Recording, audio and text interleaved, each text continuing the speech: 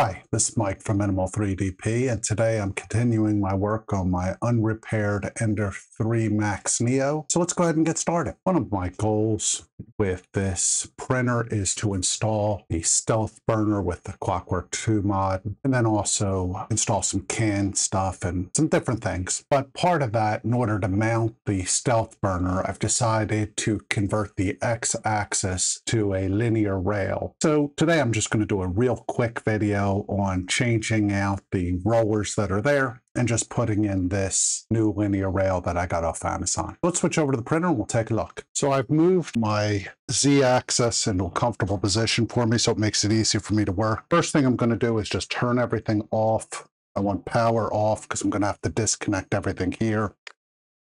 And I'm unplugging it. I'm just going to take a quick look here what I need to do. Now it's looking like I'm going to take the assembly off. If I remember correctly, this is a pain in the butt snap off. And it feels like it's almost feels like I'm breaking it, which I very well may be.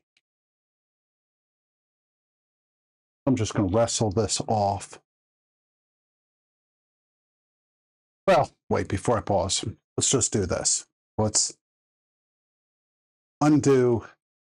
Let's get the CR Touch, because the CR Touch I definitely need to save. Everything else here, I'm sort of okay with losing or breaking. And that means the hot end and the uh, carriage there. So I don't need those.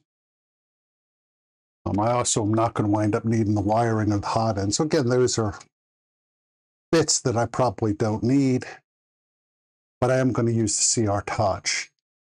Now I went and found a mount that works for the CR Touch on the Stealth Burner.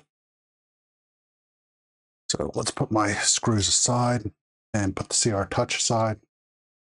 Let's look at this again. I'm basically going to see if I can pry this off here. Now it turns out, just so you know, there's a screw right behind the carriage here that's holding the hot end plate on. Now, let's go ahead and get these screws out for the fans. I don't think I'm going to keep anything here. But for right now, let's not be hasty and, and get rid of stuff that, again, I might be able to reuse. I'm going to find a case here for just the hot end. That way, again, in case I need that in the future, I do occasionally buy these printers. Like I got this printer off eBay broken, and so I'd rather have the spare parts just in case I could use them in the future. So let me go find a container and I'll put these in there. So I found my container. Like I said, I just try to keep everything for right now. You want to make sure everything's unplugged because I am messing with these wires here. I'm just putting everything right into my spare parts bin. Let's see if I can get this Bowden tube out. And of course, I forgot there's a small piece of filament already here. Bowden tube's pretty well jacked in here. I'm not going to be able to get it out. So I'm not going to keep this hot end. Let me just cut it and we'll throw it away. And if the Bowden tube's not right, I'm not sure how it's sitting in the hot end. And in the future, that might just cause me problems. Like I said, I just don't care. So I'm just going to throw that away. I have the wires here. I'll need to get rid of those. Let's get let's get this out of the way first. Get this all unscrewed. As I said, I just bought a cheap linear rail off Amazon. There, you definitely can get more expensive stuff, but I looked for something that had a, a decent rating.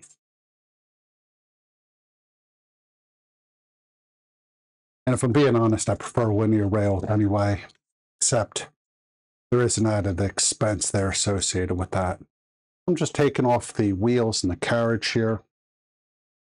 And I'll probably need to take off. Oh, let's just take a look at this. If you look at the wheel here, I'm actually noticing some of the wear isn't particularly straight. So switching out's probably not a bad idea. And probably have to take off this top one too. Now this is a pretty easy change here. Now something I'm going to point out on some of the Ender models sort of drives me nuts. Some of these have a flat face here. And if they have a flat face trying to put in, you're not going to be able to put in a linear rail, not on that face. Now, in my case, I this one, I don't have that issue. And we cut this wire too. I can always replace that. As much slack here as I can on this plane. Cut it. Now I just need to undo these wires. And I'll actually have to unplug those on the board. But for right now, I'm not going to worry about that too much. I'll come back to do that. Let me put my spare parts to the side and then we'll keep going. Now I just start off with my linear rail and I just give it a rub down with my microfiber rag. Get off some of the grease. I'm going to check to make sure that the carriage feels like it slides really well. That's good. And right here, there's a little hole on the carriage where I could put in some oil. And so I'll probably do that once it's mounted and then slide it back and forth. Now just to verify, this looks like it fits. That's messing with my end stop down here and I'll have to move that. That's okay for right now. Like I said, this is a little tight, probably tighter than I want it. That's okay. Like I said, we'll move this. So let's look at how this is mounted. It looks like it's mounted through the motor here. So we'll have to take this motor off take this housing off. And I'll probably need to print a replacement here, which that's okay as well. I've done that in the past. Let's mess with this and we'll get this off. Screws are actually under this sticker. Let me peel that off. There we go. So now the stickers are actually on the front side. I thought I was actually have to go and take off the motor. And let's get these off. And I'll have to move this end stop here, but that's that's sort of okay. We'll figure that out. Let me put my screws aside and I'll take out the end stop here. I'll unplug that. Then we're going back to, so go right like this. And so let me get my screws out and my T-nuts, and then I'll show you how to install this. So in order to secure the linear rail, I'm going to use M3 eighths uh, nuts, and then I have some T-nuts here. So in order to do this, I'm just going to start with putting a nut in and then putting the T-nut here. So I'm going to add the T-nuts very loosely. Apologize for the camera shaking. One of the dogs just came in and had to see me. So let me put these screws in and then we'll come back. Okay, so as you can see, I have my T-nuts in. Now I did take out the uh, thing blocking the carriage from moving off the rail, so I need to be careful. I'm just going to seat the rail in. And I'm pushing it all the way against the tensioner. And I'm going to tighten both ends. So I did grab that time. So now I want to do this end. Like I said, I'm only doing every other screw. So I need to be careful with all these. I just want to make sure, again, they grab in there. This is sliding appropriately.